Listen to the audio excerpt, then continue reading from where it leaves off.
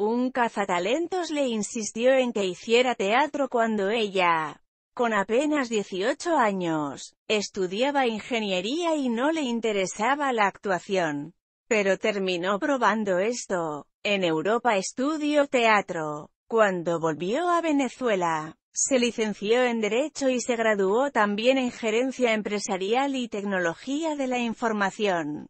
Entre sus actuaciones destacan la malvada Purificación Burgos en la exitosa telenovela venezolana La Dueña y Roberta Sancho Dávila Úbeda, de Mejía Guzmán en la telenovela peruana Pobre Diabla. Entre sus últimas trabajos han sido en Venevisión 2012 Valga Medios y Televen 2013 Las Bandidas.